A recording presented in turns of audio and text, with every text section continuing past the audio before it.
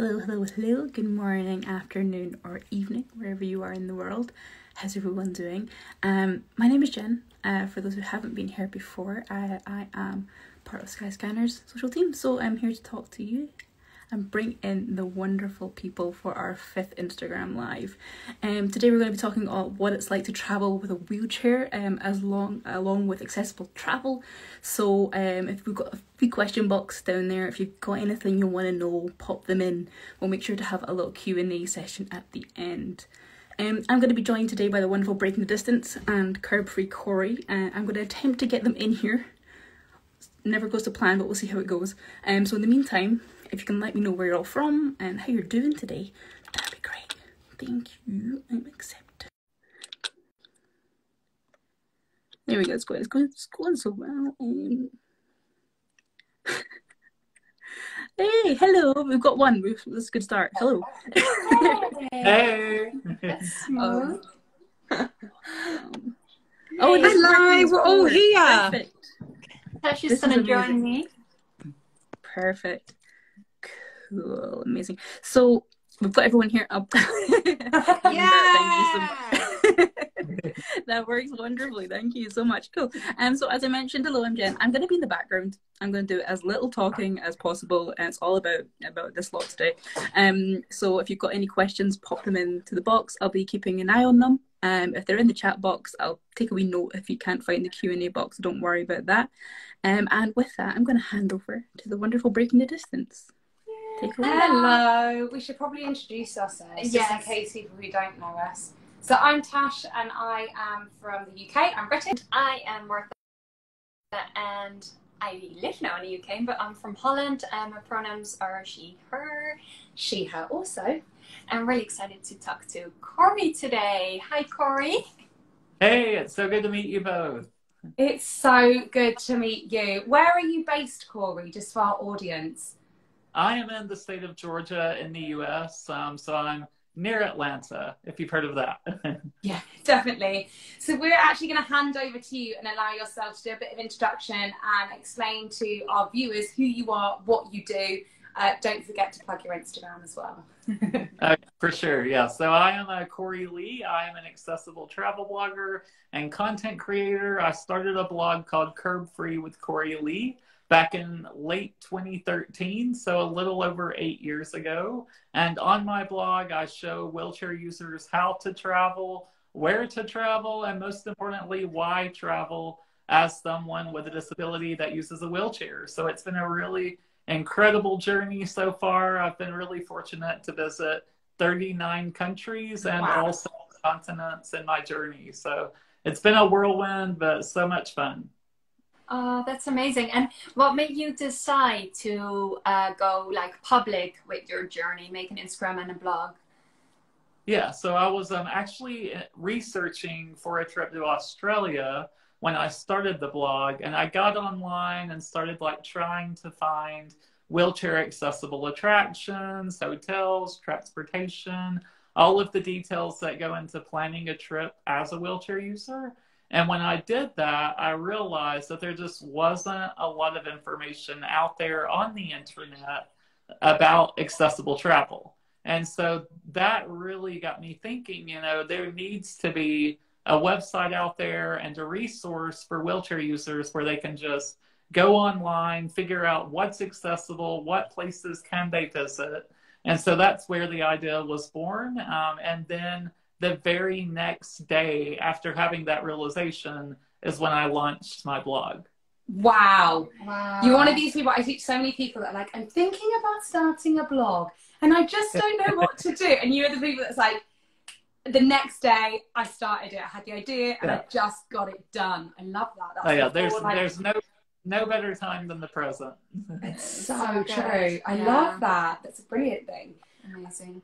Um, so what is it that you yourself love about traveling?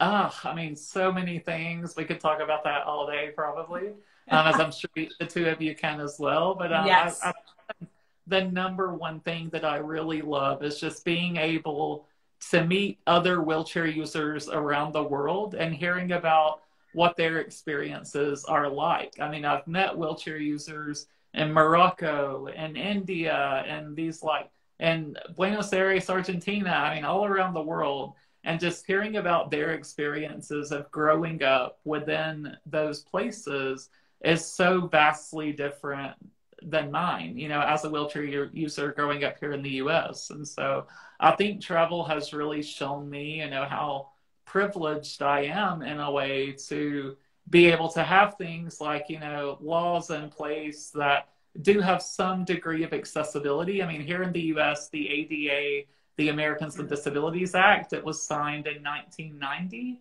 which is, which is the year that I was born. So um, it is older and it definitely needs an update. Um, but at least, you know, there are some regulations in place for accessibility. So um, it's really been a, a learning curve. And I think that, you know, when we're traveling, the most important thing is just to have an open mind and be willing to learn. It's so true. It's really interesting um, every time we, we speak to different travelers about how travel allows you to find your tribe mm-hmm. wherever they yeah. are. So for us, you know, we really connect with other queer folk around the world.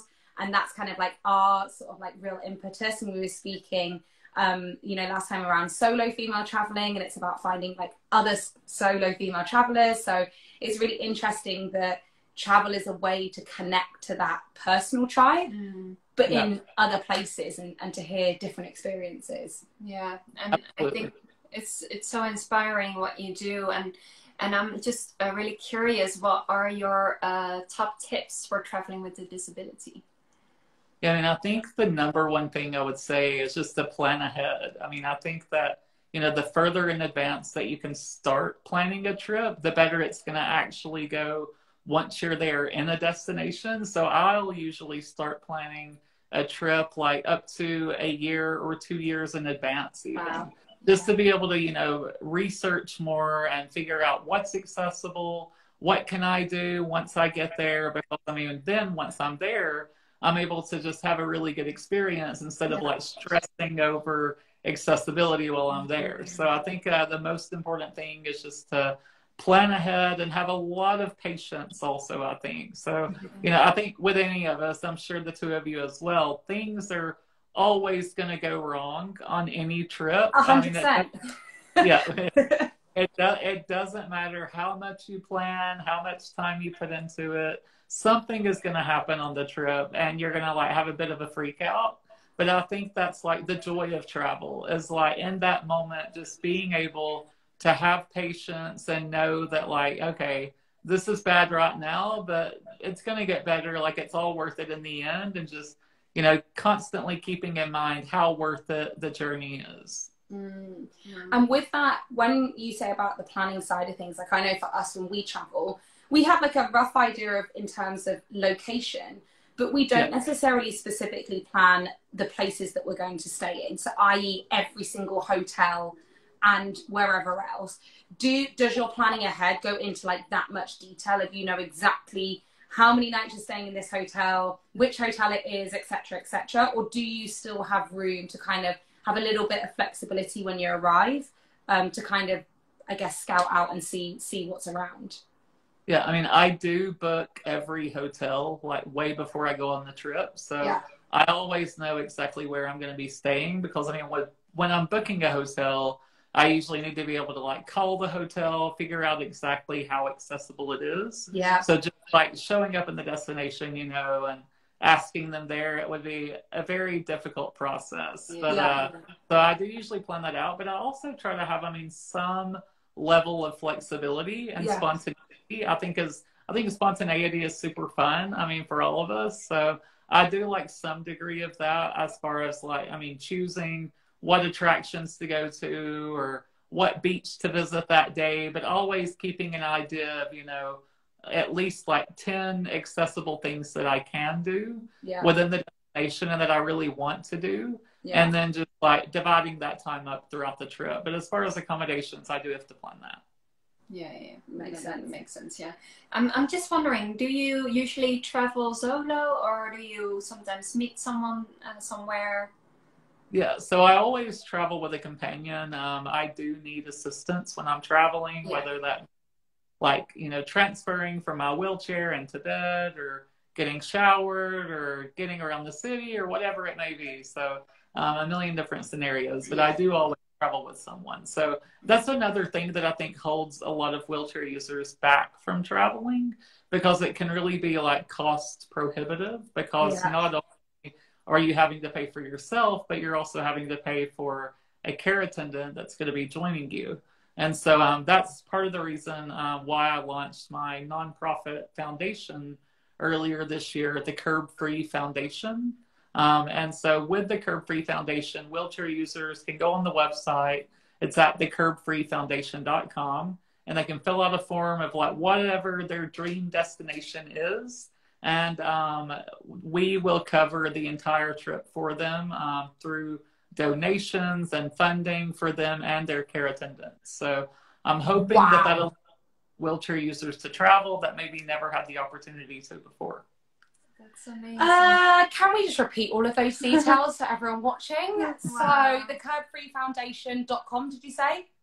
Yeah, that's correct. Yeah, the curbfreefoundation.com. So if you are a wheelchair user, just fill out the form on there. Let us know where you want to travel, why you want to go there, and then uh, we'll be picking. We actually have not picked anyone yet. We're in the process of going through all of the applications right now, but uh, we will be selecting the first recipients very, very soon. So definitely get your application.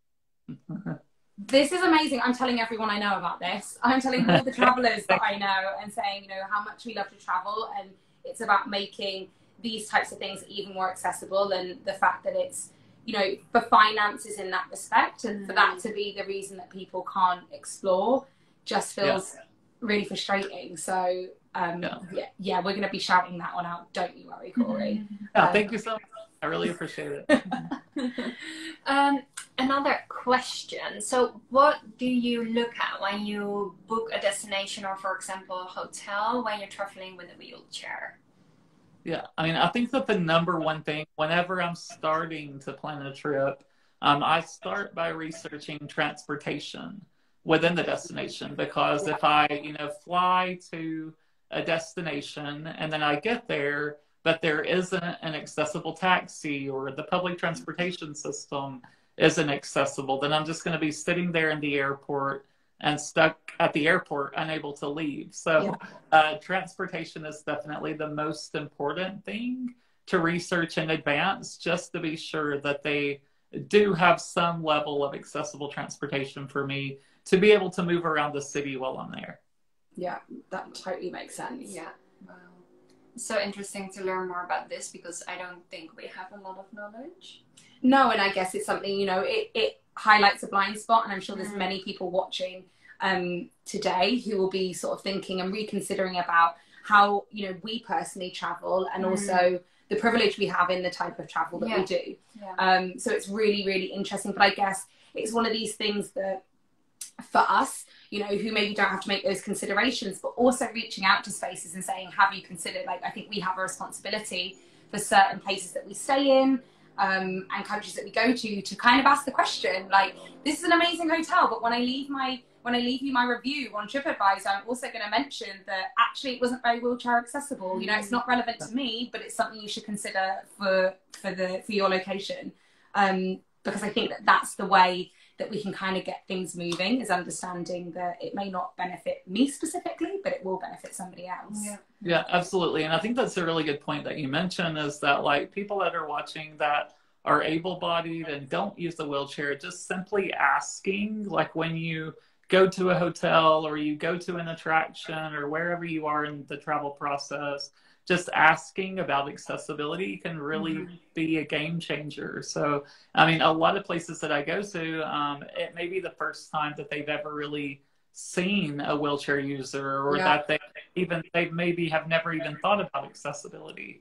And so just by asking that, you could be like sparking an idea inside their head and get them thinking like, well, maybe we should Yeah. add a ramp, you know, at the entrance, or maybe we could get an elevator or whatever it is. So, um, I mean, I really appreciate you doing that and um, just simply asking and leaving it also on TripAdvisor reviews and things like that is Yeah. such a good resource because I mean there is still even you know my blog started over eight years ago and there's still not a lot of resources out there for accessible travel. I mean, with a lot of destinations, it's really hard for me to find out about accessibility. So the more information that is out there, the better it is for everyone. Yeah, absolutely. And it's, I guess it's like, you know, just because you have an accessible toilet does not mean your entire right. establishment is accessible, right? And I think right. oh, yeah. some places think that's, that that's enough.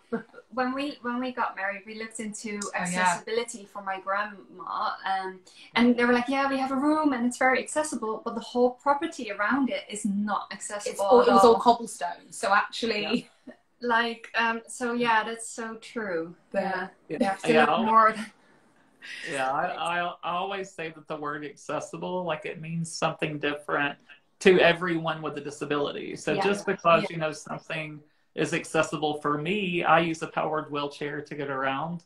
It may not be accessible for someone that uses a manual chair or yeah. someone that uses a scooter or a walking cane or someone that's blind or hard of hearing or whatever their disability is. So it's really important, I think, to just realize, you know, that the word accessible, it means something different for everyone. And so when you are speaking about accessibility and writing about accessibility, just be as specific as you can be, I think. Yeah, that's such a good point as well. Yeah, um, really I see that in the work I do about, you know, what are we defining as accessibility? Mm. Um, absolutely.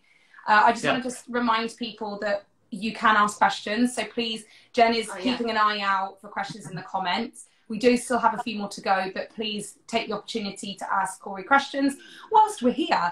Um, you can either put them in the comments or you can use the handy question button on Instagram Live, whichever you feel most comfortable with.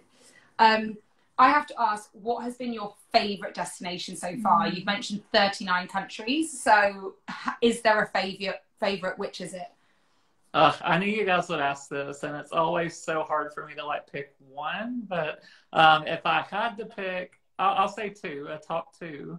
Um, I would choose Morocco and Ooh. India.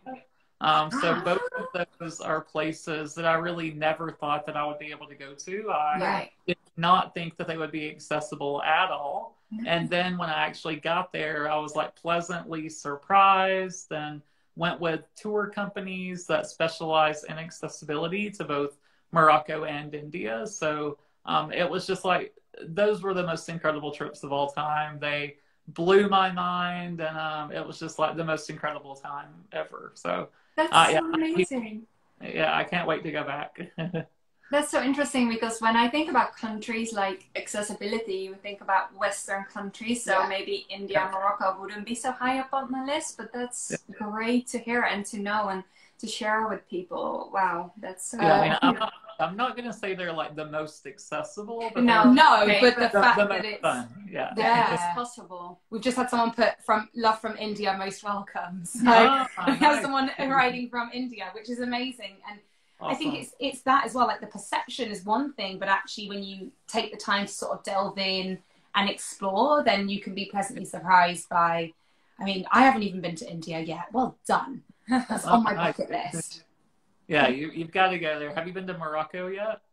Yeah, I've been you to have. both. I've I been to both. Um, yeah, my experience was a bit different, but I was also very young, uh, so I think I need to go back. Yeah. Yay! We get to yeah. go back. Thank you, Cory. You just helped us get back in to, to go awesome. to India. Yeah. um, would you say what would you say is the most most accessible country that you visited outside, I guess, of the US? Because we can't count that right yeah. now. We're traveling. yeah, yeah. Um, I mean, I wouldn't even say that the US is the most accessible. Honestly, I think that the most accessible is probably. I had really good experience in Australia. Um, I think Sydney, Australia is probably the most accessible city in the world. Um, so every mode of public transportation was accessible. Every attraction, restaurant, I mean, everything that I wanted to do while I was there was completely wheelchair accessible, which was like amazing. And I felt like I had so much freedom and like independence from that, from just being able to do everything that I really wanted to do. So that feeling was like amazing. And um, I've experienced that in a few places though. So I think that Barcelona is also one of the best in the world. The, their beaches are phenomenally accessible. So they have like beach wheelchairs, beach access mats, accessible wow. changing rooms. Um, so I'm like itching to go back to Barcelona and cannot wait to go back there. That's so amazing. That's a wicked destination. Yeah. Yes, Barcelona. Okay, yeah, we'll meet you there. We'll meet you in Barcelona. Okay. Or is I'm that ready. It's not so far It's not that far for us. It's like a hop, skip, and a jump um, over to Barcelona. Not that ta- Yeah, challenging. we, we at all. gotta let after when this ends. Let's just go on Skyscanner, look for like the cheapest flights, and let's just go.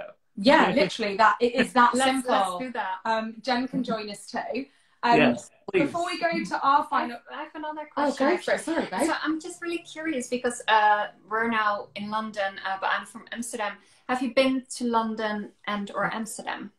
Yeah, I've been to both London and Amsterdam, and I had a really good experience in both. So Okay. in London, I really loved it because all of the black cabs had a Oh ramp. yeah, Yeah, yeah, that that's sounds true. true. Yeah, yeah, Yeah, yeah. it was like super easy to get around, although they are a bit expensive. But Yeah, um, the the convenience though is like totally worth it. Just to be able to like hail a cab on the street, you know, is so convenient. And then in Amsterdam, there is a really good tour company that I use called Accessible Travel Netherlands. And they planned out like the entire itinerary. They have accessible buses to be able to get around. And um, I mean, there Amsterdam was, I would say, a little more difficult than London to get around. Yeah. But um, luckily in Amsterdam, like with all of the bikes, there are cur- curb cuts everywhere. Of So um, that really helped out a lot. So I mean, a city that's built for bikes is Yeah. more more wheelchair accessible than a lot of cities. Yeah, that makes sense. I was thinking because in London, obviously, you know, we have an incredible tube network and underground Yeah. system, but I am very aware just from being there with a friend with a wheelchair, with a pushchair for children, right? Yeah. How challenging it can be in terms of, you know, it's every five or six stations that are wheelchair accessible. So I know that our underground so system isn't amazing for that. Um, but yes, the, the the black cab, the good old black cab, um, Yeah. they are all wheelchair accessible, and our buses are pretty good as well. Um, oh, nice. Good yeah, to know. Yeah, I mean, I, I didn't even like attempt the underground because I just I heard from so many other wheelchair users. it's overrated. Yeah, I, I, I was I was scared to try it. yeah, it's. I mean, it's intense anyway, especially at rush hour. It's not really Yeah. the best place to be in the world, but um, yeah, I can imagine that on top of being like having to navigate which station actually has an elevator or a lift and everything else is also just jump in a cab. It's far more London. Yeah, I mean, London and uh, New York City are actually a lot of like, I think, because in New York, it's kind of the same scenario Yeah. where the the subway is not accessible. I mean, only every other subway station is accessible or something. So very poor accessibility, but there are a ton of accessible taxis Yeah. in New York. So, um, I mean, and accessibility is, I think, constantly improving also. So just because, you know, something isn't accessible now, it doesn't mean that it won't be like five years from now or 10 years from now. So um, I'm not losing hope that one day the New York subway and the London Underground will become accessible. So I think we just have to keep pushing for change, you know. So Absolutely. hopefully one day. I mean, we've just had a new line built, the Elizabeth line, which opens next week. And I believe, I need to double check, but I believe almost, if not all of those stations, they have made accessible, Oh. wheelchair accessible, because it is brand new. So I blooming well hope so, because otherwise, knock, knock, knock. Yeah. I'm knocking on uh, the Queen's front door at Buckingham Palace and saying, What are you doing with your new line? You didn't make it accessible. right. Yeah, hopefully so. Please let me know. Like once you try it out, let me know if it really is. So Yeah, Hopefully. I definitely will. Will do. Um, what does the travel industry, would you say, need to do as a whole to make travel itself more accessible? Uh, I mean a lot. The list is endless, I know. Pick a few. I. But uh, I, I think that the easiest thing to do at this point is to really just like if you work for a destination um, or for any company, put accessibility information on your website. So, I mean, frequently or every time that I travel to a new destination, like if I'm going to London, let's say, then I usually start researching by going to like visitlondon.com or whatever the main website is. And I mean, far too little, there is not information on the website about accessibility. And so they're really missing a golden opportunity there. And also, even, I mean, for restaurants also or individual attractions, um, just mentioning on the website if you are accessible, how accessible is it? You know, that can really be helpful in the planning process. And it's so easy to do to just simply like update your website to include that include that information. So that's uh, where so much time, right? When when the information is there, you don't have to research yeah. and call and yeah. Oh yeah. Yeah, I mean, yeah, I mean, there's nothing I hate more than like having to call up a business and yeah, yeah. question about accessibility. So it's so much easier to just hop online, go to their website, and you know, it say on there how accessible it is. And I guess that's again something that we can all do. Like the amount of times we call up a venue to ask, "Can we bring a dog?" Or is there vegan food? Or is there vegan food? Right. We're already calling you anyway to find out those two things. So we might as well also ask. And also, are you wheelchair accessible? Is it possible um, uh, to to access your space? Mm. Um, just add it to the list of questions. We're vegans with a dog that want to know about wheelchairs. right. And they should put that information on their website too. I mean, why not put if right? you know or vegan offerings or if dogs are allowed, how accessible it is, is it? So I mean, it's so easy to put on the website, but a lot of places don't do it, unfortunately. But yeah, no, hopefully one day. yeah. So we're going to hand over and see if Jen, if there are any any questions that have come in that um, yes. you should highlight. Let me just grab them. I've been making notes uh, throughout this because some of them have come through in the actual comment section, which is yeah. which is awesome. Um, so I've got two that aren't questions, but I just want I want to say them anyway because they're really nice. Um, so Cory, I love your excitement for travel. Ah, thank you. and then the other one that I have to mention is not a question, but the Curb Free Foundation sounds amazing. What a brilliant initiative! So ah, again, people are loving that. Um, we're going to make sure you pitch that again at the end uh, that's super important. Um, and the other questions that came through: uh, What are the best destinations for accessibility that you have been to? uh, the best destinations for accessibility. I mean, aside from, I, I, guess aside from the ones I've already mentioned, like Sydney and Barcelona, I would really say Scandinavia and Europe is phenomenal. So, I mean, I went to Helsinki, Finland a few years ago, and I did not expect it to be super accessible due to like it being very old and a lot of cobblestone in certain areas. But when I got there, I discovered that there are actually over 300 wheelchair accessible taxis in Helsinki. So that was really a pleasant surprise for me to find out. And um, ever since then, I think I went in 2016 for the first time, and I've been back a couple more times since then. And I just love that whole area of Scandinavia. Oh, that's really good. And I guess that's something that you quite often. I know that London falls prey to that when you have these older cities, mm. listed buildings. You're not allowed to just knock through and put a, a lift in the middle of them. so that I know that that's also a challenge in some of, certainly in, in Europe where we have very old, old history um, and lots of cobblestones everywhere that I know that can be a challenge. So that's amazing to hear. Oh yeah, yeah. I mean, there are some places in Europe with like brutal cobblestone. I mean, I went to Estonia um, a few years ago, and the cobblestone there is like, I mean, I needed to like go see a chiropractor when I was done with that trip because oh, no. I didn't bring me around so much. But, uh, yeah. I had like a phenomenal time, and it's like a beautiful country. So, um, I mean, I would still recommend it, but it's just a lot of cobblestone. Yeah. Don't take your heels either if you are. Right, right. Amazing. Thank you so much. Um, you mentioned earlier on about Australia and, and how, how much you enjoyed your time over there. There has some have been someone asked, uh, where did you actually go in Australia? I think they'd just like to know a bit more about, that. Yeah, yeah. I went to Sydney and Melbourne, um, and so and also did the Great Ocean Road, so like a driving tour of the Great Ocean Road from Melbourne. And so, I mean, everywhere that I went, I mean, in both Sydney and Melbourne were phenomenally accessible. So, I mean, they were, I really, I like Sydney better probably if I can only like recommend one place. But Melbourne also was just a beautiful city and super, super accessible. The public transportation system, like the metro, was really easy to use as a wheelchair user. And um, I stayed in a really great hotel there that was fully accessible. So, I would highly recommend both cities, and I can't wait to get back to Australia and see a lot more because I mean it's a huge country and there's so much to see. Giant. Yeah. yeah. Love Australia.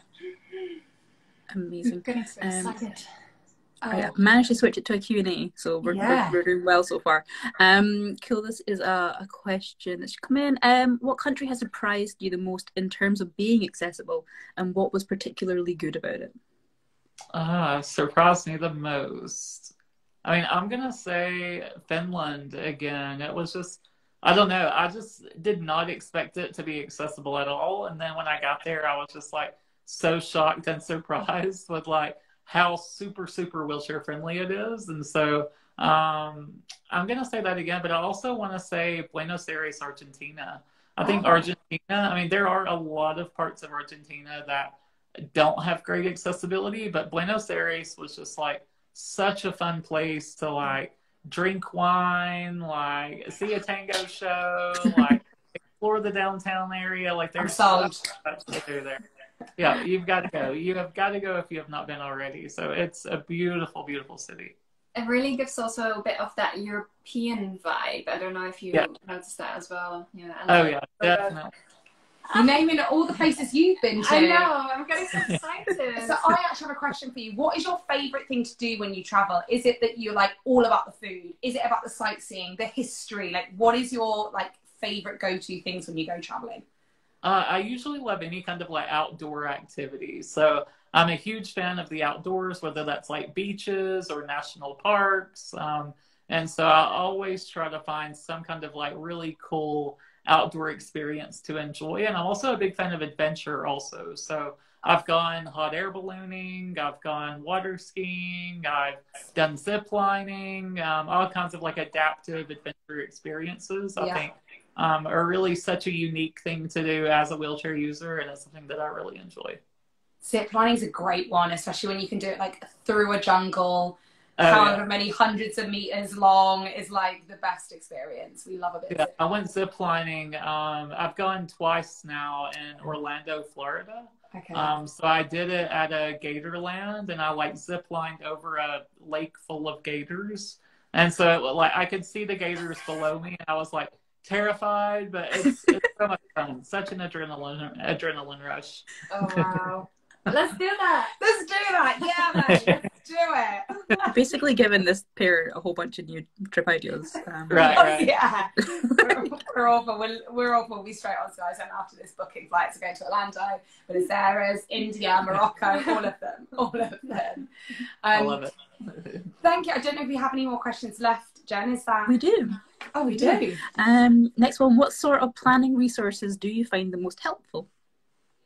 Uh, so, I mean, I think getting that first-hand perspective from other wheelchair users is the most important thing. So, um, when I'm traveling, I consult other like wheelchair travel blogs um, or even Facebook groups. I think there are some really good groups. One of them that I'm a huge fan of is called Accessible Travel Club and it's on Facebook. And so anytime I have a question about accessibility in a particular destination, I'll just like post in that group. And usually somebody in that group has like been there, done that, and has some insight and some insight. So it's uh, super valuable. That's good to know. I'm going to start checking it out. Is that an open group or a private group? Uh, it's I actually have no idea. I don't know. I'm gonna check it out. I'm gonna check it out. Accessible travel. Yeah, you can, you can, you can definitely request to join it. There's like over twelve thousand members in wow. it. Um, it's a huge group, and I mean, every time I post, like somebody has been there and has some really good insight. So definitely join the group, even if you're. I mean, you guys could join it just to get some insight about accessibility. Yeah. I think yeah, it's yeah. important. Great, awesome. great information. Oh, we have another. Oh, hold on, I managed to break this. This is going well. um, where did it go? Everything just moved around. Um, let's go with this one. Um, what destinations are on your bucket list? Oh, oh good question. uh, every, every time I like check something off, I add like three new things to the bucket list. But I would say at the top are Egypt, um, Japan, which I'm going to in July as long as the country reopens. Right. Um, so hopefully in July I'll be going there. And um, so, yeah, I would say Egypt and Japan are like my top two that I really, really, really want to go to one day. So that'll be countries up to 41 by that point, right? Yeah, yeah, 41. Yeah. Trying to hit 50. I think you're going to do it. You're fast approaching it. I think I, yeah, I think it's, it's going to happen. We're actually, I think I'm on 41, so we can do sort of Oh. like a challenge. Steps to Let's 50, travel Oh, yeah. to 50. Okay. First, first one to 50. Let's yeah, okay. The competition is set. Gonna Okay. It's there, okay. Officially, first to 50. What do you win? Do, do we do we win anything? Uh, I don't know. I don't Fate know. of glory? Well, A flight from Skyscanner? Thank you. oh, thank you, thank you. That's a brilliant idea. I'll get back to you on that one. cool. We actually have another one from. Oh, why is this one not working? Right, this one refuses to, co- to show up, uh, which is really. Let's see what I can do now.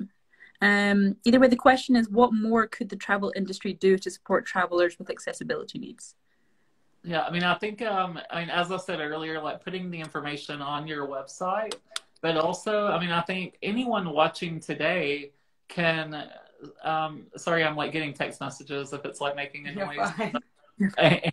any anyone watching today just like inquiring about accessibility when you travel um, is super important um, or also um, if you are a travel blogger um, like breaking the distance i mean just putting you know if you're doing a review about a destination just putting one simple like sentence or paragraph within the article saying you know what accessibility you noticed within that destination is super helpful because I think just the more information that is out there on the internet, the better it is. So I really want to see a world where like every website that I go to that pertains to travel has some degree of accessible travel information on it because I mean the accessible travel market is huge. I mean people with disabilities yeah, people with disabilities spend over $58 billion per year just on travel. So the market is there. Like people with disabilities want to travel um, if we just are given the opportunity and the accessibility to do so. Mm. And you also consider, like you were saying, odds are like a percentage of of those travelers are also traveling with some form of a companion as well. So it's actually like it's not just that it's one person that we're accounting for; it's Yeah. two, maybe three people that are actually traveling together. So from a business perspective, Yeah. business sense yeah. to make your space accessible. Um, Yeah, definitely makes sense from a business perspective because I mean, if a family of eight people are planning like a reunion or a trip, you know, and they're they have one member of the family of eight is in a wheelchair, Yeah, uh, they're going to have to go to a wheelchair accessible destination. yeah. So you're missing out on a ton of money if you're not being accessible and inclusive. And so, um, yeah, just super important. Such good advice. Um, Amazing point. uh, Egypt, something about the boats. I just saw that comment pop up. Yeah. uh, boats cruise down the Nile River, are semi-accessible. Cool Sunnyland tours. They treated me like royalty. There we Oh. go. There's a little a little insider information for you, Cory. yeah, that's Sunnyland really tours in Egypt are the way to go, apparently. Yeah, I, I, I love a cruise and I would love to go to Egypt. So I, I'm up for it. Check and Double check. whammy. Um, Cool. And We still have we- questions coming in, so Wow. might be here for a while. Um, what's the best and worst thing for you in terms of air travel? Uh, it's hard for me, hard for me to this because there's the air travel industry. It could use a lot of work, I think. But um, my ultimate dream is like to be able to actually get on the plane and stay in my wheelchair, just like I can on a bus or in a taxi. You know, so. Um, there's a wonderful group called All Wheels Up. They're a nonprofit organization based here in the US, and they are working and like trying to pass legislation where airplanes would be accessible and you would be able to just like roll on the plane in your wheelchair. So I'm constantly worried whenever I'm flying, you know, is my wheelchair going to be Yeah. damaged during Yeah. flight? And frequently it is damaged, um, which is terrible. Uh, but it's a constant issue that I have like in the back of my mind throughout the flight. And so just being able to, you know, like stay in my wheelchair would be a total game changer. And I know like I travel a lot now, but if I could stay in my wheelchair, I would like never be home again. I would be in the Where's Cory? He's on a plane. He's on a flight. right on the plane, always, every day. That's such a good point. Yeah, I mean, I feel the same way too. I get worried about my case, let alone like Oh. something that is, you know, the other part of me in terms of how I maneuver around. Mm. Like, Right. no one, no one would feel comfortable putting their phone in the hold, right? And that's like an extension of hand for some people. So, yeah, yeah, I mean, yeah, that's what I always say. Like the wheelchair is an extension of my body. yeah. So I mean, if it gets damaged, I mean, I can't enjoy the trip. I mean, that would be the same as you know, you guys like the the flight attendant coming down the aisle and like breaking your arms or something. Like, yeah. yeah. I mean, it it would be terrible and like it would be all over the news. But when it happens to a wheelchair, it's just like looked over, glossed over, and not a whole lot is done with it. So um, I think the air travel industry could definitely get better. Um, but I mean, I'm still going to be flying, still going to be having a good time. Not and holding it back. Not going to stop me, but it could definitely use some improvements. Amazing. To know. Um, well, I think I know that there's probably loads more questions, but I'm actually going to encourage people to come to you directly. So if they want to, they want to ask questions, you go, you have to go to Cory you have to follow him, and then you get to ask your questions too. Um, but I also want you to have the opportunity to share once again about the foundation, um, so we can top and tail this. If you've missed the beginning, you get to hear it now. Yeah, yeah, for sure. Yeah. So um, if anyone has any questions, feel free to send me a message here on Instagram. I'm at Curb Free Cory Lee.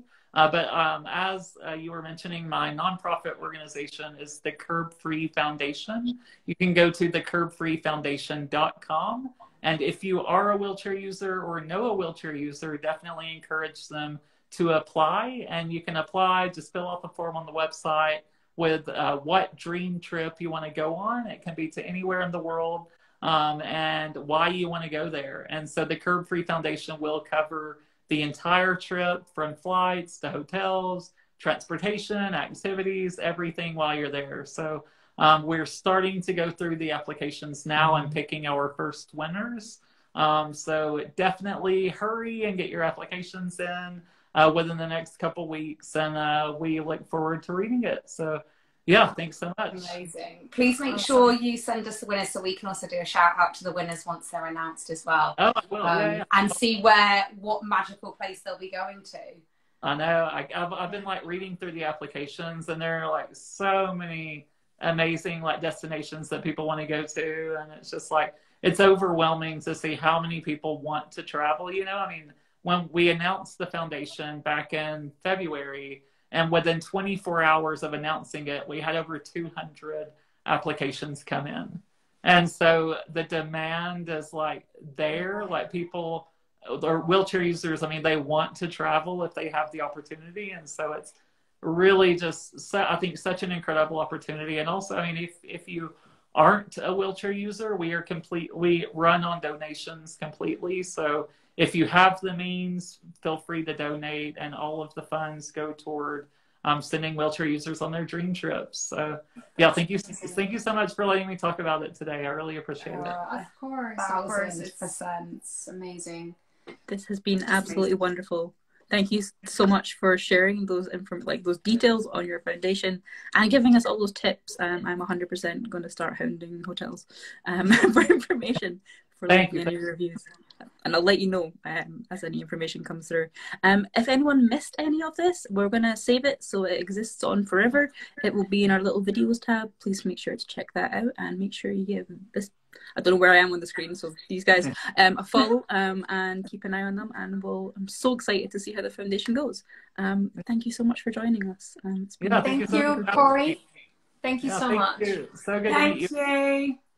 And uh, cool. have a great rest of your day wherever you are. yeah. You too. Bye. Cool. Thanks. Bye. Bye.